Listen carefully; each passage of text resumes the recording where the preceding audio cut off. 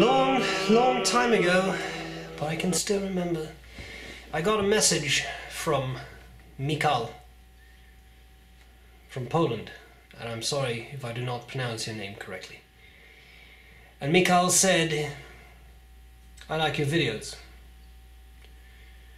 I have started to do some things with pens. Can I send you something? I said, sure. I wasn't 100% sure what to expect. And shortly after, there was a mail delivery guy from FedEx. He held up the package and he said, It's from Poland! As if it was the most remarkable thing that happened to him all day. Now,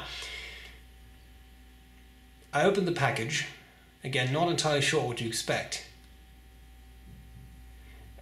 And there was a box, and I opened the box, and when I saw what was in it, my response was something along the lines of, What? Because I was very, very pleasantly surprised. So Michal and I have had some conversation, long conversation, back and forth, Instagram and email. In a nutshell, Michal is someone who is what we psychologists call a crazy person, to the degree that he finds something he finds interesting, and then he dives into it completely, head over heels, figures everything out, and then that's it. Now, when I say crazy person, I say that with the most affection, most affection possible. He explained to me how he once built a car from scratch. Who the hell builds a car from scratch? Jesus. Anyway, impressive though. Now, the pen we're talking about today is this pen. And what's fascinating about this pen, I opened my blinds, so this is super reflective. You will see that this is not just a regularly reflective pen. This is Urushi. In other words, an Urushi lacquered pen. Common in certain Asian countries. Uh, I would say that this has been really raised to tremendous heights in Japan. You see a lot of Urushi pens. Urushi pens are very expensive. Now, what Michal is doing is bringing that art to the West, which I think is amazing. And here's the thing I have seen some Urushi pens in my life. I own some Urushi pens. I have held other people's Urushi pens. But this work is very high quality because I can also tell you I have seen some Urushi work from people who are trying to do Urushi work and they were not quite there yet. Okay, that's the kindest way to put that. But this is something else. So, here's what I'm going to do. I'm going to cover the parts of the pen. I'll show you this pen next to some other Urushi pens I have so you can see that.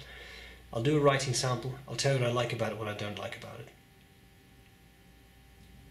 That's it. Michal, thank you. You have no idea, but I'm serious. This pen I got it has been inked since. This is impressive. Let's look at this in detail. Okay, so this Tamenuri Studios pen. There's a lot to say about this pen. I'll try to keep this as brief as I can. This is the box the pen came in, which I thought was very cute. This reminds me of a 1980s business suit, but that's that maybe just my strange association. So there is that nice, cute little box, and then we have the actual pen. And the actual pen is very big. Is it really? Yes, it really is. This is a Pilot Parallel. You can see that this pen is maybe fraction longer, but it is way girthier. Okay, so what's the deal with the pens? Well, Michal does not make the pens. He just does what just, I mean, that's not a, not a value adjustment, value judgment. He does the Urushi lacquer on the pens. Okay, so the pen is a Ranga Model 5, and Ranga pens are made, very interestingly, in India uh, largely by hand, and as I understand, even the threads are actually made by hand, which is impressive. Um, larger pen, right? This is a big pen, as you can see. Like this is a pretty normal pen, so this is a big pen. What can I tell about the Urushi because I want to really spend some time on that because that's really what sets this pen apart, right? So it's a Tamenuri, which means that you put on a color on the base, like a colored lacquer on the base, and then you put on top of that multiple clear coats. So in this case, Mikhail described to me how he put on four base layers of raw urushi. then he put on six middle layers of lacquer, which are pigmented, then five top coat layers, which are pigmented, and then five translucent layers. Now what you have to understand is that the application of the lacquer is difficult, no air bubbles, etc. That's difficult. Then after most layers there is a sanding, oops, a sanding process. And after some layers there is also a polishing process. And then you have to take into account, so we had four layers base, six layers in the middle, that's 10 layers, five top coat layers, that's 15 layers, then five more translucent layers. After every layer, uh, the, the, the pen is cured, I guess the lacquer is cured, in a Furo cabinet, okay, which has a stable humidity. And if I remember the story correctly, lower humidity takes longer to cure. So under the conditions of lower humidity, it takes longer to cure, but the result is better.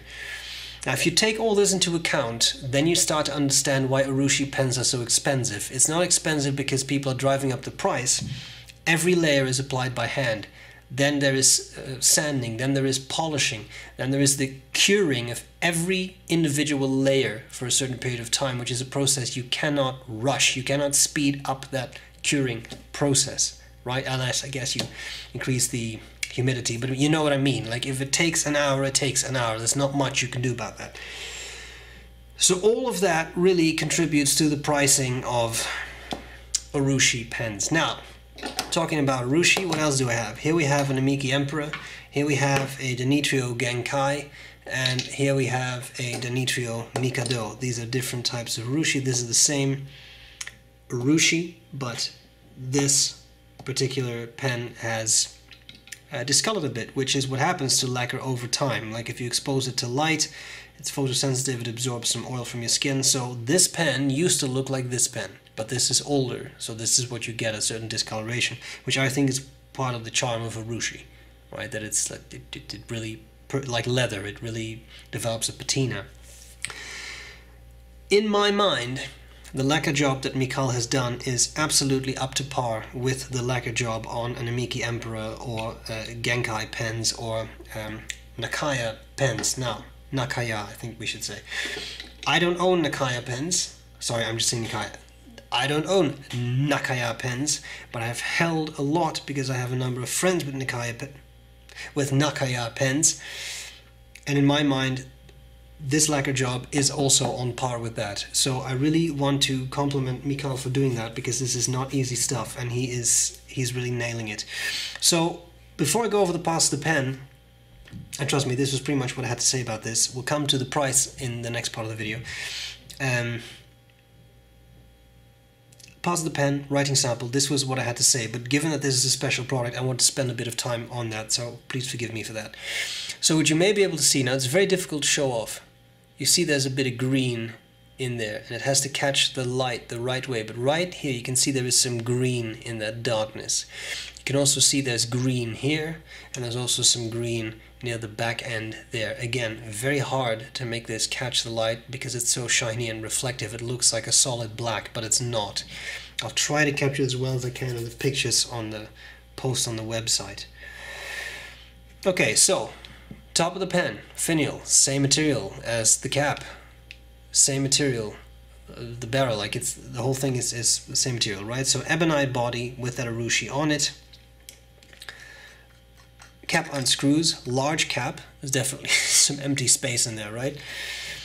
And then we have this pen. Now, Mikhail already said, I know the nib is small, could use number 8, but this is a number 6 steel Bock nib, double broad, and I'll be honest, it's a nice nib. I agree, aesthetically speaking, it could do with a somewhat bigger nib, but we're learning, right? This is a learning process.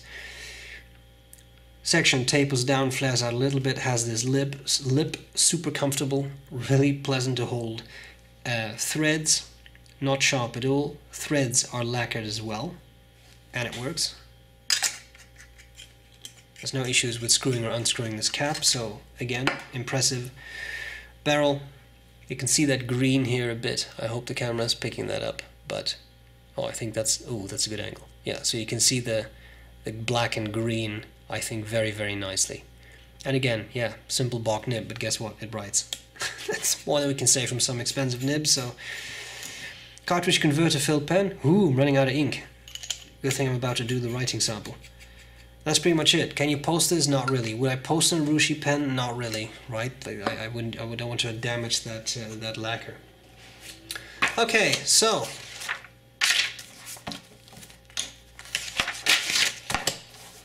there we go. Writing.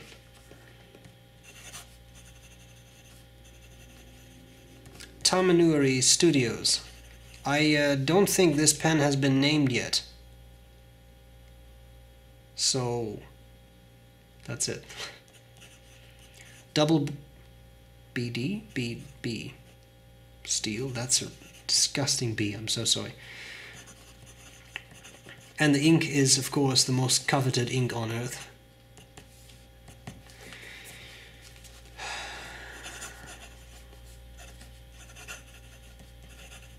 Now it says Gwick, but you get the point.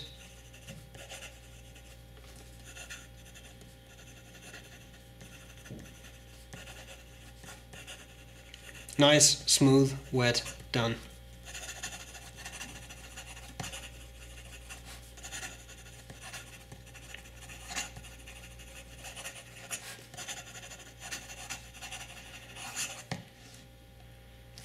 Great writer. Is it big? Yes. Is it comfortable? Absolutely. And because it's all ebonite, it's not super top heavy or anything, so it's it actually makes for a nicely balanced pen in my mind.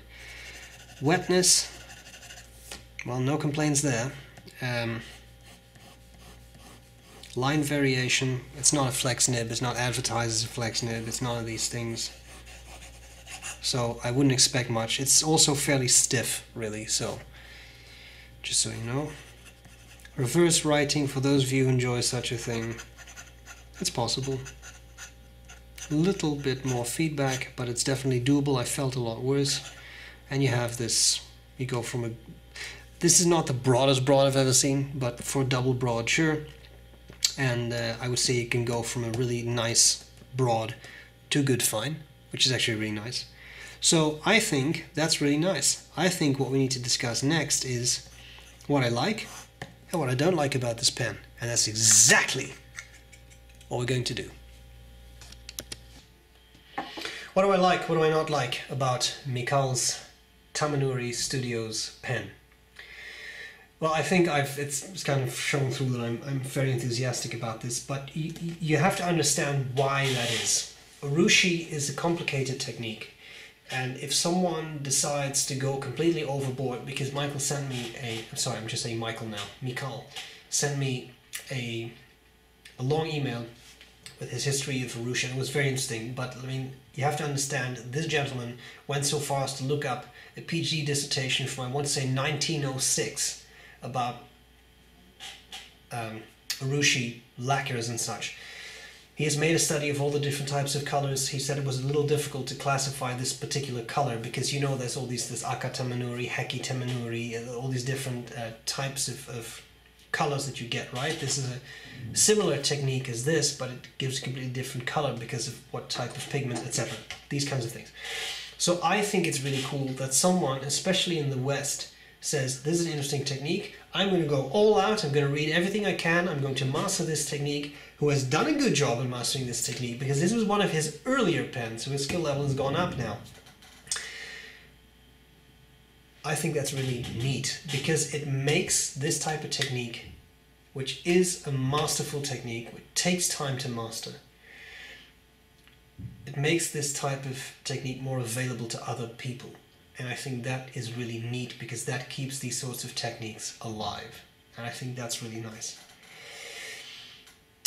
We need to talk about price. I asked Michal about price. Now, because he is in the startup phase of his company, he kind of suggested, well, it's a little difficult to, to put prices on things sometimes. And I kind of pressured him a little bit because I need to be able to tell you something. He said for a pen like this, so the, what he sent me, this pen, he said I would probably charge something between 350 and 500 euros. Depends a bit on what the customer would want and how complicated the technique is, because you can do other things with the Urushi too, right? Check out his Instagram profile, Tamenuri Studios, I'll link to it uh, in the description. See what he can do, because you can do way more visually complicated things than just this type of uh, Tamenuri finish. I personally really like this because it's so simple, but to each his own, or her own. So I really like that. Um, I think that's a fair price. I know that's not cheap, but again, remember this entire process I explained with all the layers of lacquer, how they have to cure, how they get sanded, how they get polished every time. This is not a pen you can make in an hour and you are buying an Indian pen, handmade pen, right? Because Ranga makes the, the Mr. Ranga makes the pens by hand in India. Yeah, there's a steel Bock nib, and I'm sure you could upgrade that nib if you'd want to, like you can with many companies, from steel to gold if you prefer that. But for me, this is fine because it's a really nice nib. Yeah, I don't know what to tell you. I think it's a fair price. If you look at what a Nakaya goes for, and then you say, but this is not a Nakaya. I know this is not a Nakaya. But this is someone who is starting out in his own company and who's doing a very impressive job. And also, I would also like to point out, like I, I sometimes when I get enthusiastic in reviews like this, people say you're too enthusiastic. Yeah, well, I'm sorry. I'm sorry if I'm enthusiastic about a product that I like. But I also very much believe in giving people opportunities. And I think what Michal is doing here is something that is worth exposing to the pen world in a positive way. So, well done. What do I not like about the pen? Well, it isn't much. if you follow my videos for a while, you know that this ticks a lot of my boxes. Broad nib, big pen. A Urushi is something I like. I don't have a massive Urushi collection, but I mean, it's it's it's a beautiful uh, finish in my mind. This pen works well. It writes well. I love the model. I love the Urushi work. I will say one thing about it. It has no clip. If you put this on a desk, it tends to roll. So do something. I don't know. Put it in a cup, whatever. This is not a big deal to me. That's really all I have because, in all honesty, the fit and finish are very high standards. So what can I complain about? Buy a Nakaya for $1,000 or buy this for 500 euros. You know what I'm saying? That's kind of what I'm getting at. So that's it. I hope this was useful. Thank you, Mikhail. We will follow your career with great interest. And I'm glad to see you later.